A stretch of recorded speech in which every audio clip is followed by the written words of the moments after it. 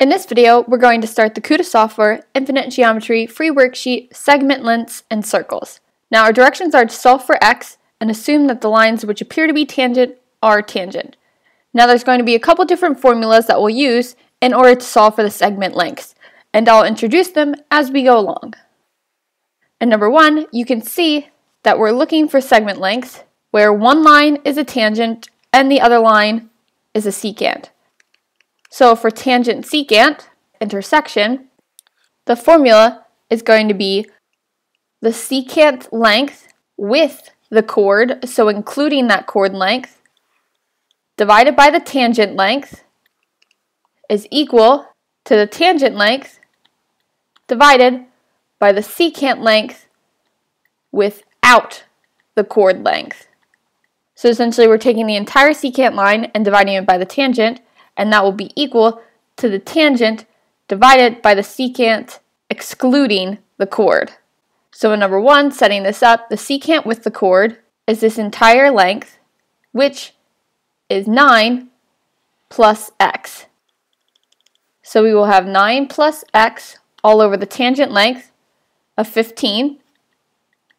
That's going to be equal to the tangent length of 15 all over the secant without the chord, and if the chord is x, that secant length without the chord is just 9. So now we're going to cross multiply and solve for x. Multiply 9 plus x to 9 and 15 to 15. So 9 times 9 plus x will equal 15 times 15. So I'll distribute the 9, and that will give me that 9 times 9, which is 81, plus 9x, 9 times x, will equal 15 times 15, which is 225. Now I'll subtract 81 from both sides. And doing that, I'll get that 9x is equal to 225 minus 81, which is 144. And my final step will be to divide by 9. 9 divided by 9 is 1. 1 times x is x. So x would be equal to 144 divided by 9, which is 16. So that segment length x is 16 in number 1. Now in number two, we're going to be using a different formula because this time we have a secant and a secant. So that formula is that the secant length with the chord, so including that chord, so the entire secant length times the secant length without the chord will equal the secant length of the other line with the chord times the secant length of the other line without the chord. So again, the secant, so let's look at this first 3 and 5. So the secant with the chord will be 3 plus 5. And if we're multiplying that to the secant length without the chord, that would be multiplied to 3. That's going to equal this other secant, so that length with the chord, so the entire secant length, 4 plus x, times the secant without the chord, that would just be 4. So essentially, we're taking the whole secant length of one segment and multiplying it by that external secant length, or the external segment that makes up that secant, and that's going to be equal to the other secant length times the external segment of that secant. So I'm going to distribute my 4, and I'm going to simplify on my left. 3 plus 5 is 8, so we'll have 8 times 3 equal to 4 times 4, which is 16, plus 4 times x, 4x.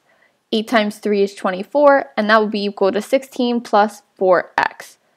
So now I'll subtract 16 from both sides to get 8 equal to 4x, and when I divide by 4, I'll get that 2 is equivalent to x. So 2 is my solution in number two. In number three, I have another secant secant intersection where I'm finding the segment length. So it'll be the entire secant length, looking at this top secant line, 4 plus x minus 3, and we're going to be multiplying that by that external length of 4. That's going to be equal to the entire length of the other secant, 5 plus x minus 6, and that quantity will get multiplied by that external length. of 5. So before I distribute the 4 and 5, I'm going to combine like terms. So I'm going to combine 4 and 3 and 5 and 6. So 4 minus 3 is 1, so I'll have 1 plus x. Multiplying that by 4 will equal 5 minus 6, negative 1 plus x, multiplied by 5. Now I'll distribute the 4, and I'll distribute the 5. 4 times 1 is 4, plus 4 times x is 4x, and that will be equal to 5 times negative 1, which is negative 5, plus 5 times x, which is 5x. I'll subtract 4x from both sides, moving my terms with x to the right, and I'll add 5 to both sides, moving my terms without x to the left-hand side of my equation. So 4 plus 5 is 9, and that's equal to 5x minus 4x, which is 1x, or simply x. So number 3, 9 is our solution. And number 4, I'm dealing with a secant line and a tangent line. So remembering our formula, that's the entire length of the secant, 4 plus x, over the tangent line 6 equal to the tangent of 6 over the secant length without the chord, so just this external length of 4. Now I'll cross multiply, so 4 times 4 plus x will equal 6 times 6, and 6 times 6 is 36. So distributing my 4, 4 times 4 plus 4 times x. 4 times 4 is 16, plus 4 times x is 4x. That's equal to 36. So when I subtract 16 from both sides, I'll get that 4x is equal to 20. And finally, dividing by 4, I'll isolate my x, and that will be equal to 20 divided by 4, which is 5. So 5 is my solution in number 4. Now in number 5, I have an intersection of chords. So my intersection occurs within the circle Therefore, I'm going to be introducing a new formula. So the intersection of chords, looking at the segment length, so this is a chord-chord intersection as opposed to a tangent secant or secant secant. This formula is going to be the small segment length of the chord times the large segment length of that same chord will equal the small segment length of the other chord times the large segment length of the other chord. So essentially what we're doing is we're taking a portion of the chord up to the intersection and multiplying it to the rest of that chord and then doing the same thing, taking portion of that chord up until the intersection and multiplying it. Those will be equal. And remember multiplication is commutative so it doesn't matter whether you use the smaller side or the larger portion first. So looking at number 5, looking at this first chord, we'll have the small segment of 9 times the large segment of 4x, and that's going to be equal to, looking at the other chord, the small segment of 8 times the large segment of 4x plus 2. So I'm going to have to distribute 8 on the right hand side, and 9 times 4x is 36x, and that will be equal to 8 times 4x, which is 32x plus 8 times 2, which is 16. So I'll subtract 32x from both sides. On doing so, I'll get that 4x is equal to 16. And simply dividing by 4 will give me that x is equal to 16 divided by 4, which is 4.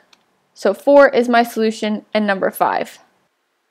In number 6, again I have an intersection of chords, so that intersection is occurring on the inside, so I'm going to take a portion of the first chord, 5, times the other portion of that chord, 8, that will be equal to the small portion up to the intersection of the other chord times the other length of that other chord of x. So 5 times 8 is going to be equal to 4 times x. 5 times 8 is 40, and that's equal to 4 times x, 4x. And when I divide by 4, I'll get that 10 is equal to x in number 6. So if I wanted to, I could plug that value of 10 in for x to get that this segment was equal to 10. In number 7, I have tangent secant intersection occurring outside. So that's going to be the secant length, that entire length of 5 plus x over the tangent is going to equal the tangent length of 6 over the secant length without that chord, so essentially that external secant length of x. Cross multiplying, I'll have x times 5 plus x equal to 6 times 6 of 36. Now I'll have to distribute my x. x times 5 is 5x plus x times x is x squared. And that is equal to 36. Now there are a couple ways to go about solving this problem. I'm going to solve by subtracting 36 from both sides, and then I'm going to rewrite this equation. So I'll have x squared plus 5x minus 36 or plus a negative 36 will equal 0. Now I'm going to factor. So what adds to give me 5 and multiplies to give me a negative 36. Thinking of the factors of 36, 9 and 4 are both factors, and 9 minus 4 is 5, and 9 times negative 4 is negative 36. So I'll have x minus 4 times x plus 9. That is equal to 0. So, in order to get that equal to 0, that means that x minus 4 equals 0, or x plus 9 equals 0. However, if x plus 9 is equal to 0, that means I'll have a negative 9, which I will not have a negative measurement for the lengths. So I'm going to be looking at x minus 4 equal to 0. And if x minus 4 equals 0, I'd simply add 4 to both sides to get that x was equal to 4 in number 7. So 4 is x in number 7. And lastly on this worksheet, I'll have number 8. It's the intersection of secants. So the secant length, including the chord, that entire secant length, 8x plus 6x, if we multiply that by the secant length without the chord, so excluding that chord, 8x, that's going to be equal to the other secant length of 9 plus 7 times that secant length without the chord, which is 7. So simplifying this problem, I'm going to need to distribute the 8x. 8x times 8x is 64x squared, and I'm going to add that to 8x times 6x, which is 48x squared. That's going to be equal to 9 plus 7, which is 16 times 7. So now I'm going to pull out an x squared from each of these terms. So x squared times 64 plus 48 equals 16 times 7, which is 112. So simplifying what's inside my parentheses, I'll have x squared times 64 plus 48 is 112 equal to 112. Now I'll divide both sides by 112. So my 112 divided by 112 is 1. So I'll have x squared on my left hand side. And 112 divided by 112 is 1. Now I'll take the square root of both sides. Square root of x squared is x, and the square root of 1 is 1. So number 8, x is equal to 1. And I'm going to stop the video here. Join me in the next video where I'll finish out this worksheet completing numbers 9 through 16. And if you haven't already, like this video and subscribe to my channel. All likes and subscriptions are greatly appreciated and let me know that you're finding these videos useful. And if you have any questions, leave them in the comments below.